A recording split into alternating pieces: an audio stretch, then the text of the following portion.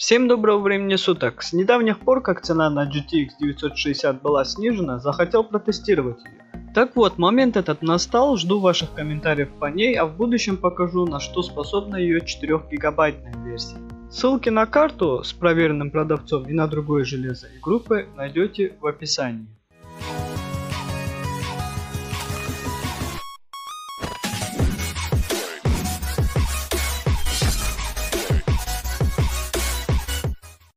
Так получилось, что один знакомый попросил дособрать ПК, а необходимо было купить видеокарту, оперативку и блок питания. Думал на примере его железа сделать тест, как подвернулся случай и себе прокупить такую же карту, так как на свою я нашел покупателя. Точнее покупатель предложил мне продать мою GTX 750 Ti. Кто смотрел мои выпуски, в последний раз она светилась у меня в открытом стенде. Так вот, так как железо у меня со знакомым почти одинаковое, решил сделать тест на своем, ну и поделиться с вами. Пришлось немного затянуть с выпуском, так как SSD от Kingston V300 на 120 гигабайт, что стоял у меня в системе, после нескольких лет отправился в покой. А комп он у меня рабочий и соответственно нужна производительность и скорость. Пришлось купить новый SSD и решил попробовать этот.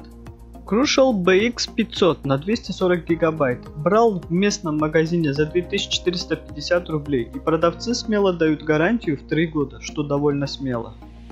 А стенд все тот же, процессор Intel Xeon X3440, оперативной памяти было 8 гигабайт, но для полноты тестов я добавил еще планку на 4 гигабайт, в сумме получилось 12 гигабайт.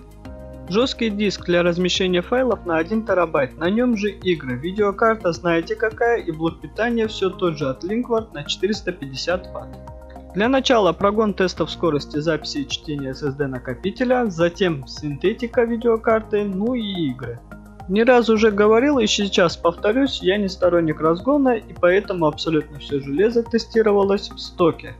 Естественно, все писал на свою карту захвата SCAP, дабы максимально приблизить условия к реальным, а на саму карту ссылку оставлю в описании. И первая игра, в которой хочу протестировать, это CSGO. Разрешение Full HD, настройки автоматически на высоких. При этом игра выдает в среднем 60-70 кадров без фризов. Видеокарта греется до 45-47 градусов, загружается на 45-50%.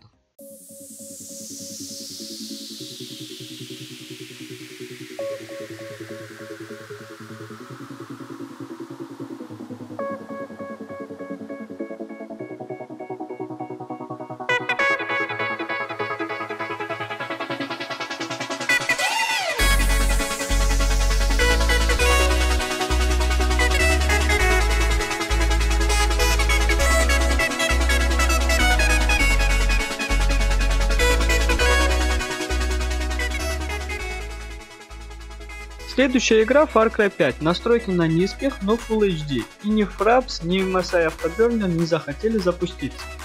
Поэтому я решил запустить встроенный в игру бенчмарк. И показал он минимальный фреймрейт 45, средний 56 и максимальный в 75 кадров. Игра довольно требовательна к ресурсам компьютера, и поэтому 8 гигабайт оперативной памяти будет маловато, и процессор работал почти впритык.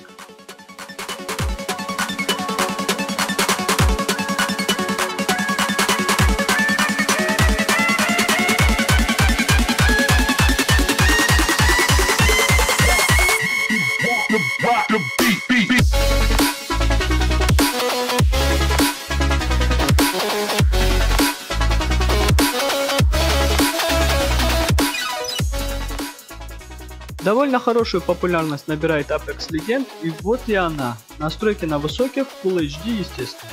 В основном видел счетчик кадров в районе 50-60 с очень редкими просадками до 45 и все так же не запустился MSI Afterburner.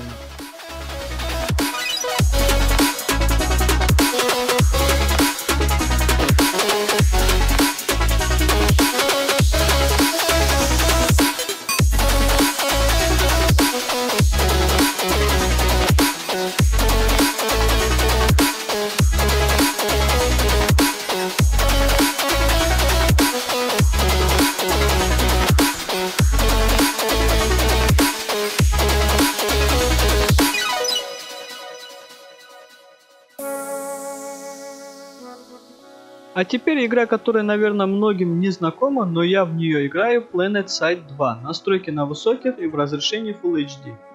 Счетчик кадров держится в районе 60-70. Есть и просадки в зависимости от насыщенности сцены, и ниже тех же 45 я не наблюдал.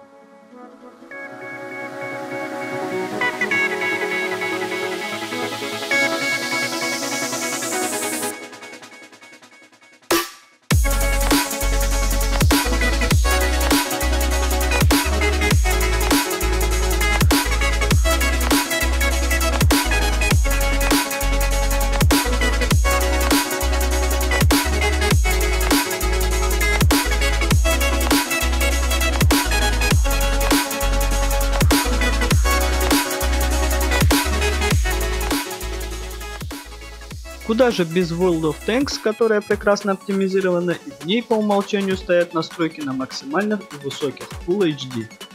Видим отличный результат 80 с лишним кадров, иногда переваливает и за 100, в основном в статичных сценах и просадки ниже 75 не наблюдал.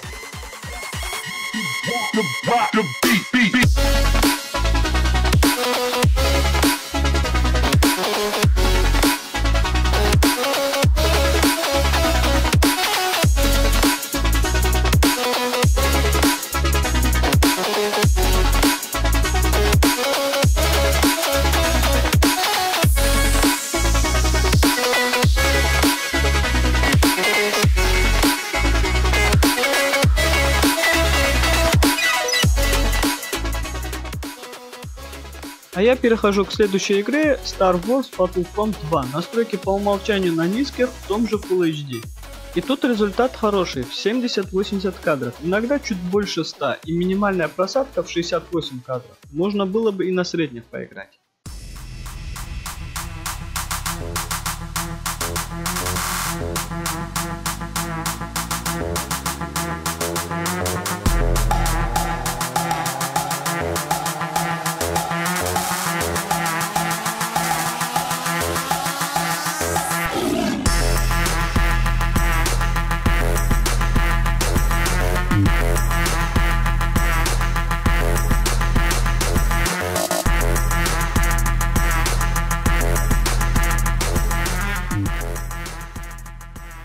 Следующая игра, в которой я практически не играю, Battlefield 4. Настройки на средних, разрешение Full HD и я так и не дождался боя.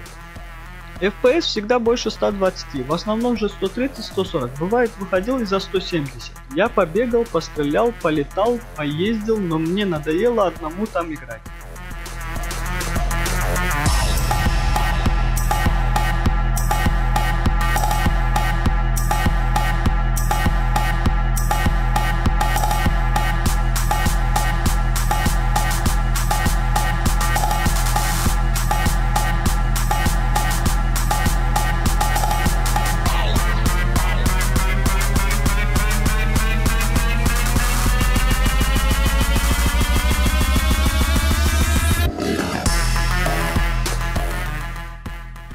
Но в Battlefield 1 народ был, настройки по умолчанию стоят на средних в том же Full HD, и я их в принципе и не трогал.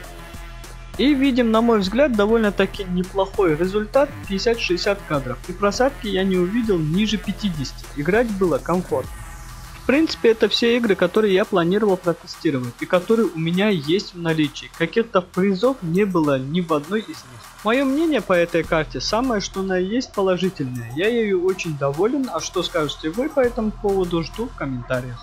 Прогнать видеокарту в бенчмарке от Farmer не получилось, компьютер уходил в перезагрузку. Я раз уже сталкивался с этим делом, думаю и без него тут все ясно. В общем, друзья, все ссылки на все железо есть в описании, а для экономии при покупках советую воспользоваться кэшбэк сервисом. Советую EPN или Letyshops. Собирая систему или покупая комплектующие, да и в принципе все что угодно, вам вернутся ваши средства от 3 до 7%. В этих сервисах очень много магазинов, не только AliExpress, а если зарегистрируетесь по моей ссылке в описании, получите приятные бонусы. И по уже сложившейся традиции напоминаю про кнопку лайк, подписаться и колокольчик. Это будет стимулировать меня на дальнейшее развитие. А на этом мой выпуск подошел к концу, я с вами прощаюсь и до скорых встреч. Всем удачи, хорошего настроения.